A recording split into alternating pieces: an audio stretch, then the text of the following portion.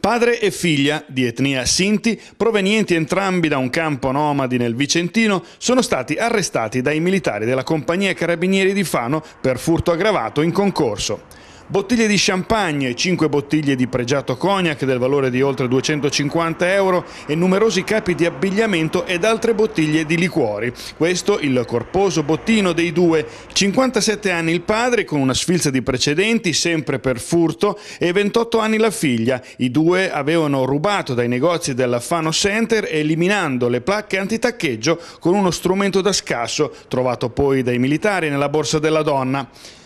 Padre e figlio erano stati notati dalla vigilanza interna per i loro atteggiamenti sospetti ed oltre a tenerli d'occhio gli uomini della vigilanza hanno anche avvertito i carabinieri che si sono fatti trovare all'uscita del centro commerciale. La ventottenne portava via le bottiglie di liquore dagli scaffali dopo aver tolto l'antitaccheggio grazie ad una cartucciera fatta appositamente e legata in vita, nascosta con abiti voluminosi, nella quale poteva portare via anche 5 bottiglie alla volta. Nell'auto poi i carabinieri hanno rinvenuto altra refurtiva rubata in un negozio sempre di abbigliamento nella galleria.